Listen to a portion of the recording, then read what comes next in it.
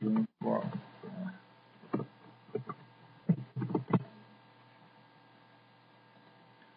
然后呢就是要获取一个结果。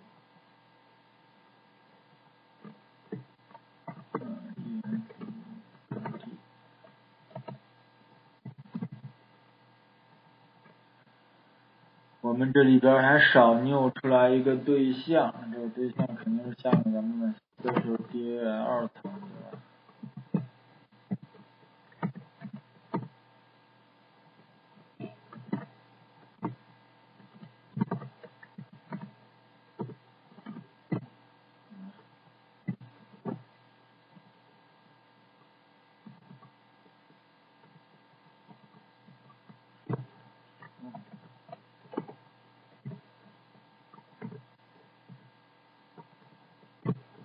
嗯，这个不是，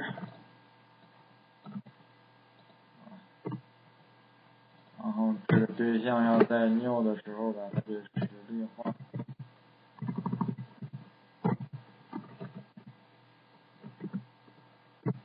刚才看的直接传进去，这个我们 P 是不是没有改过来哦？这个 P 把它改一下。改过来，因为有些是以前的代码，就很容易有遗漏。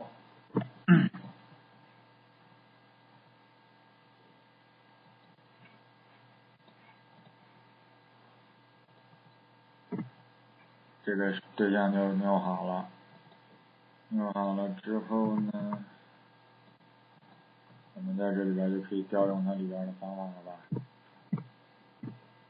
就是应该把这参数直接传进去，对吧？然后你现在在业务层得到它的结果了，对不对？你可以做的这个处理就很多了吧？是不是？你可以根据它返回的是 true false，返回返回一个字符也可以吧？对不对？返回插入成功或者是插入失败，对不对？甚至你还可以抛出一个异常。对不对？插入失败的时候，你往外抛异常，然后让调用它的这个方法处理，对不对？所以说，这就是在业务层主要要做的一个操作。它会把这个数据库返回回来的这个原始操作的这个结果数据，它可以就，所以你就可以在这个业务层里边做进一步的处理，对吧？但是咱们这里边呢，就比较简化，没有做更多的处理。直接它的这个结果，咱们原原本本的给它返回去就可以了，对吧？当然了，你在写的时候，你如果有需要或者有什么，你感觉哪种方法合适，你就用哪一种。你比如说，你直接往外抛出一个异常也可以，对吧？你抛出一个 string 的字符也可以，好吧？我们这里边呢，就直接把结果给它返回回去，放到它的这个 activity 那一层调用，它谁调用谁处理，好吧？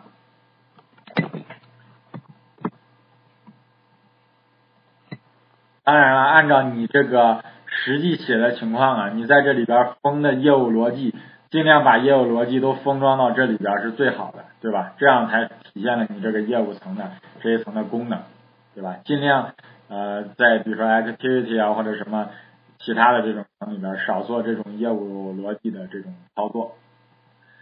呃，我们继续，现在这个插入放进去了，我们再做一个删除，是吧？删除也要有，所以说在业务层里边再封装的话，就又是进一步的处理了。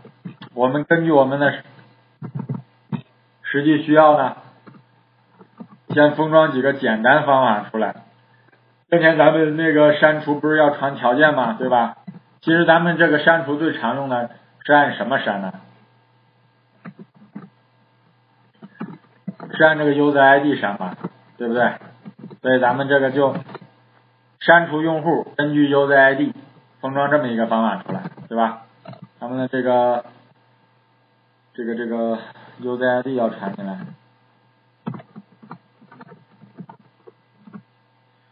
有 U Z I D 了，我们就可以拼装它的这个条件了，是吧？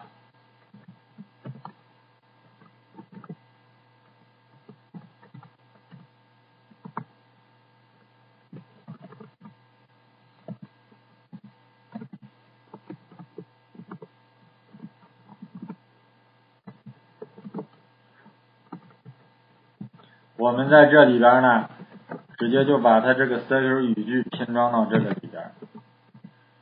当然了，实际实际上这个也不是太标准。你的业务层里边，实际上最好是不要出现这个直接出现 SQL 语句这种操作，对吧？而且这种东西其实还是能把它封装的，因为你这个数据库表里边的设计里边什么 user name 啊、user ID 这些。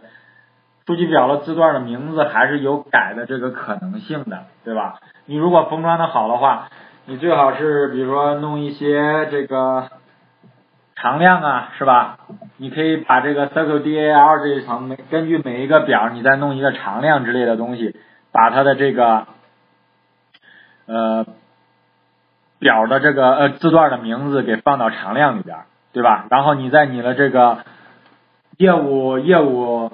操作层呃业务业务这一层直接引用它那个常量，然后你的这个字段改的时候，你就不用手忙脚乱的把所有的这个业务层里边的字呃字段名字都给替换一遍了，对吧？所以说这个给大家说一下，但是咱们这里边因为呃是这么做的，呃目前就先写成这样，对吧？咱们在实际写的时候。可以稍微的改造一下，通过常样的方式，是吧？其实很简单，就是在 DAL 那个类里边，呃，你再给它加几个常量嘛，把数据库的字段给映射进去，是吧？然后这个 reduce，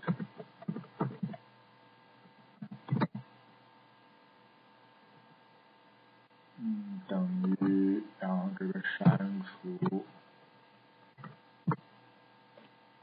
这个应该很容易理解吧，对吧？咱们在 SQL 里边有删除方法，当时传的是条件，对不对？咱们在业务这一层把条件拼装好之后，直接给它传进去了，对吧？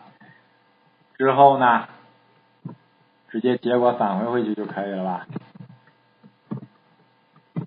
是吧？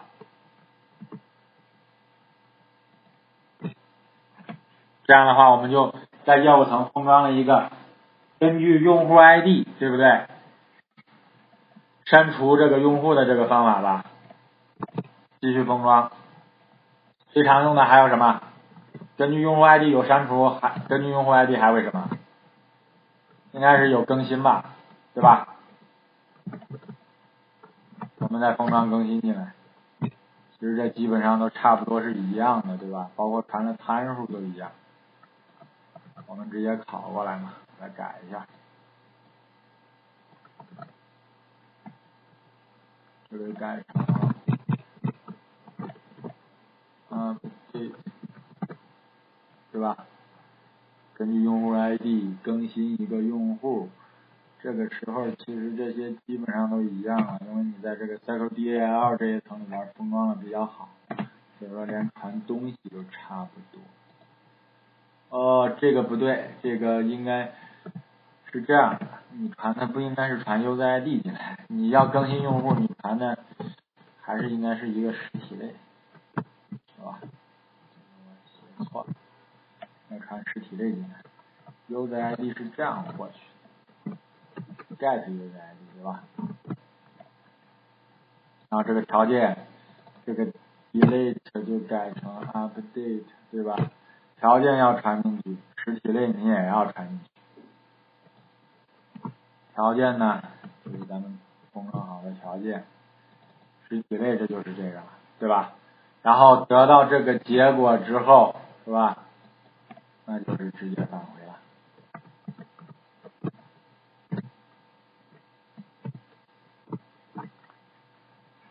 对吧？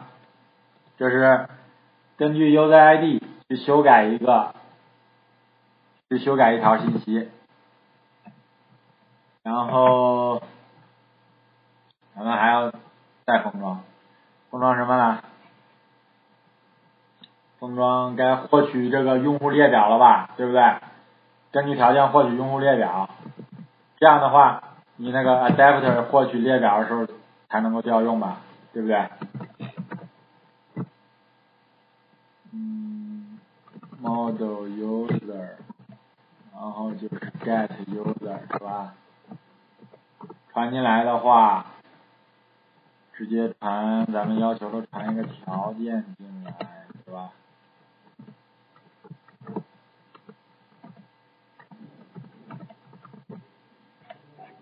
其实咱们这个方法呀，主要是在内部调用，应该是，咱们暂时把它先定成私有的，因为咱们如果在 activity 那层传条件，如果也传直接传一个那个啊 cycle 字符过来就不太合适了，是不是？咱们先定成私有，应该这个方法主要是咱们自己在业务层内部之间调用，对不对？有各种各样的条件在业务里边拼装好，然后给这个方法传过来，是吧？然后我们直接返回 return w DL，然后就是 get user，然后条件直接就是这个条件了，对吧？这个要有，然后还要有什么呢？我看一下啊，这个啊对，比比较常用的还有。get get content，这个先不封装吧，呃，先封装获取单个的实体类，对不对？获取一个实体类，根据 U I D 获取一个实体类嘛，对吧？那这个名字就叫 get model user，然后 by user ID，根据 user ID 获取一个实体类是吧？然后传进来咱们的这个 user，这时候要怎么做呢？咱们那个返回的，咱们那个方法返回的是个 list 了，是吧？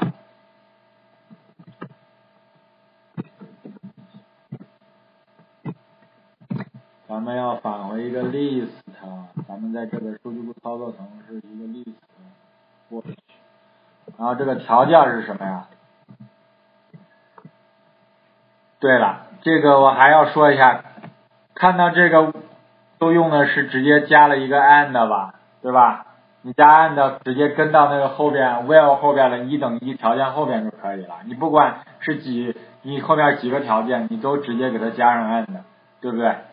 如果你没有那个一等一的话。你还要再做判断，这个就挺费事儿的。在这里边你就不用做那么多什么判断之类的，对吧？直接就是这样就行了。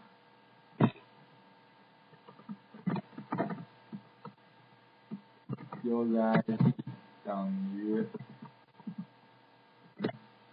user ID，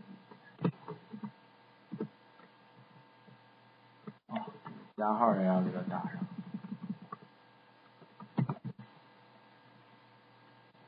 得到这个 list 之后，因为你现在是根据 user ID 查的，肯定只会查到一个吧，对不对？那你就判断一下，如果这个 list 点 size 等于一，是吧？这个时候就返回。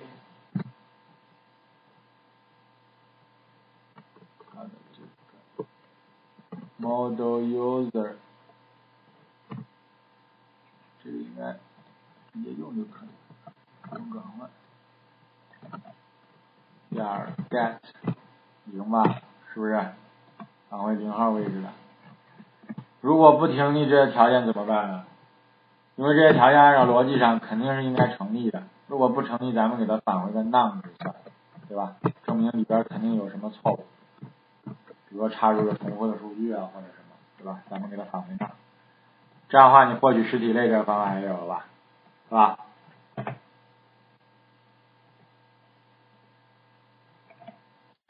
然后还要封装，这个因为是咱们自己内部的，它获取是要传条件的，对吧？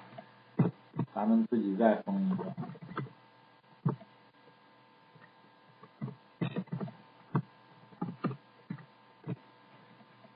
应该是 get user，咱们一般是通过什么？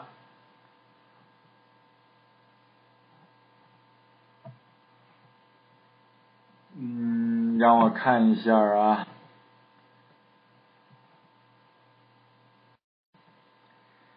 咱们这里边封一个那个什么吧，在这个一会儿待会儿就要用到 get user list，根据什么呢？根据传过来的 user ID 得到一个用户的这个列表。什么 user ID 呢？根据传过来的一个用户 user ID 的数组，因为咱们有可能不是说只查只查像刚才那样只查这么单独的一个 model user。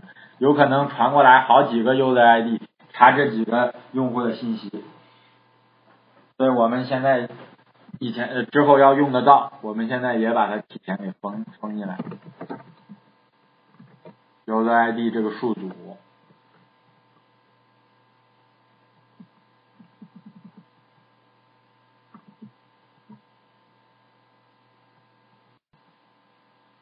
，user ID 这个数组。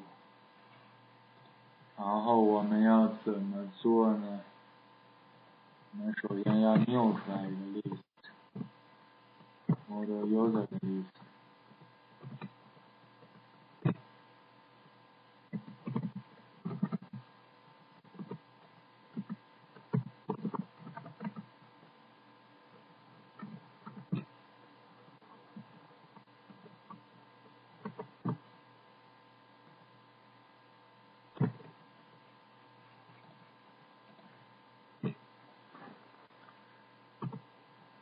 然后在这个里边，我们便利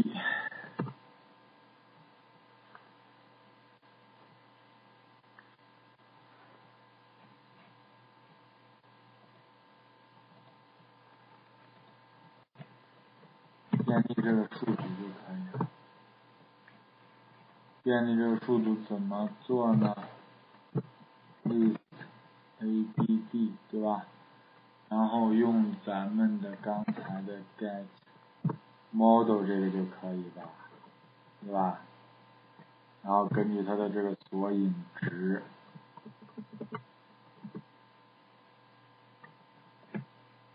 哦，这个参数是 string 类型的话，咱们把它转换一下，就用 int 或者是用强制类型转换吧。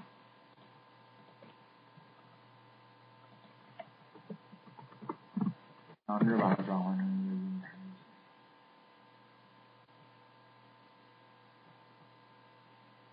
嗯，这样有可能不行，这样吧，还是用 int 吧。点儿，它有一个 view，是吧？这个方法，用这个把它给转过来，是吧？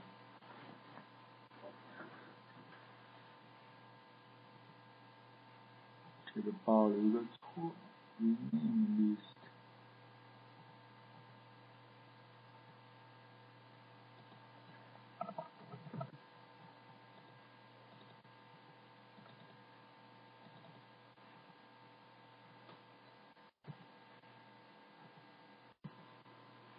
嗯，这个 int 转换有点问题。删掉就可以，然后这样的话就就给它填进去了，填进去之后我们把它返回回去就可以，对吧？这样的话我们就通过调用咱们自己内部的这个方法，这个 get user 这个方法做一层封装，是吧？我们暂时先封这几个方法进来，应该基本上够用了。这样的话，我们来看，是不是现在已经有个数据库操作了整个基本雏形了，对不对？我们的这个 securDL base 也有了，help 也有了，configure 也有了，是吧？然后基础的这个 securDL 这一层也有了，然后 business 业务也有了，对吧？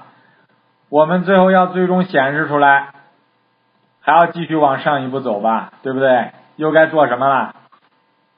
好几样工作要做，对不对？布局，list 的布局，对不对？然后就是 item。